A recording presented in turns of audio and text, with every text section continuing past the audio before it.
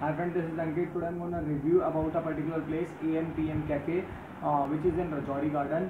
Uh, this cafe is so famous for its uh, beverages and the food they offer. It's on the rooftop. Uh, you can have a very uh, happening kind of atmosphere over there. So I mean, uh, this place is best suited for the couple for hangout. The cost for two people goes around only 1200. Uh, you can have different kind of mocktails, coffees, beverages over there. Uh, this cafe uh, is uh, like uh, full of music and the happening kind of stuff uh, you can get out of it. Uh, the basically the food, I mean in terms of the grill and terms of the sandwiches they offer you is like amazing. So AMPM Cafe is something out of the box.